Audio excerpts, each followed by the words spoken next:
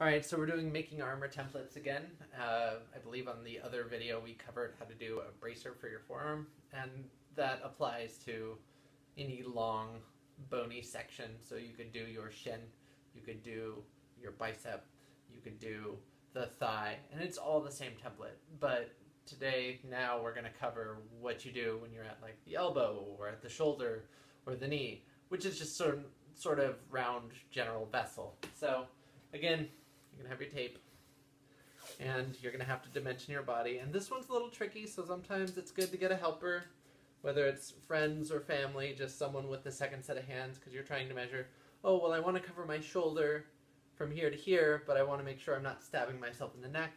And I also need to know whatever this cross dimension is, you know, from the back of myself to the front of myself. So if you don't have a mirror or you don't have a second set of hands, sometimes it's better to mark that and then this part's tricky. You got to look at yourself and go, okay, they overlapped here in this region.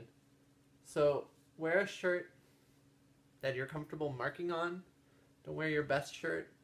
Um, you don't want to do this in a suit and tie. Just a regular old t-shirt's fine. And then you're going to take your components off. You'll see we have our registration mark right there. And we have our second registration mark right here. We're going to overlay them like so. And that is the general template of our pauldron. Now, when you're putting it on yourself, it may not be perfect.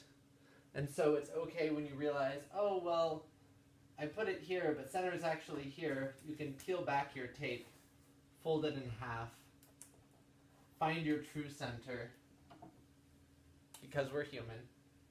So my true center is right here. And then we can find the overlay information like so.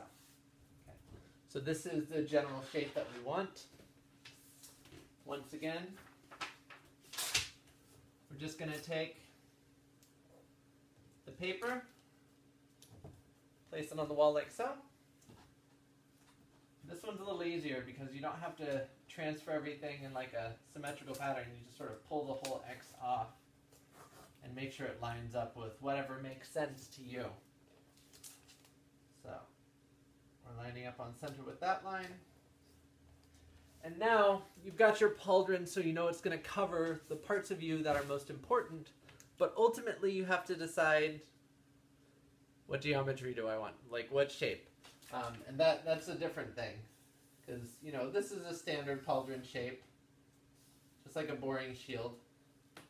But there's nothing to say you can't get fancy and do some little details so that when you have it on, it's got kind of a swooping element or a scalloped edge or like a curve that will create a hard stop for a blade.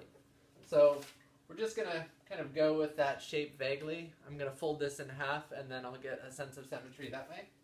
And we'll do one folded cut based on my very, very terrible quick drawing.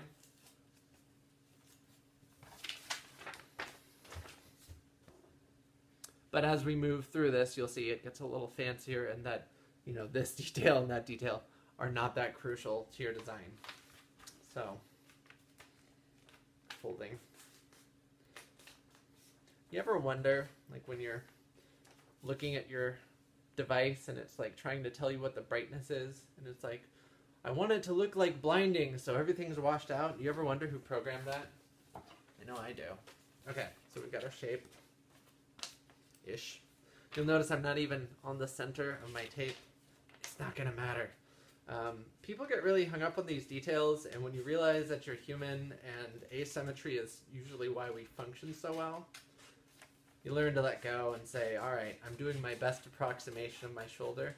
When I cut out my template, right, we're using scissors to go through the whole thing. Very beautiful.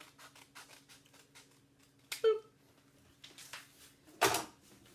All you care about is in the end, oh, it's symmetrical, wow. Looks like I planned it out perfectly. Look at the drawing. Not even close. So, you're to put that on your shoulder, and you're going to ask yourself, as I move around, can I hit myself in the neck? Is this rubbing against my bicep? Is this section going to have to be scooped up? I don't know. So I'll pin it right there. and then I'll check that motion, right? So I'm getting a little bit of neck contact. That tells me these should be a little shorter. So I'll just cut that again. Nice little elegant detail. Again, don't get hung up on your Sharpie marks. They're not going to matter. This is a template, right? This is just so we can translate to leather.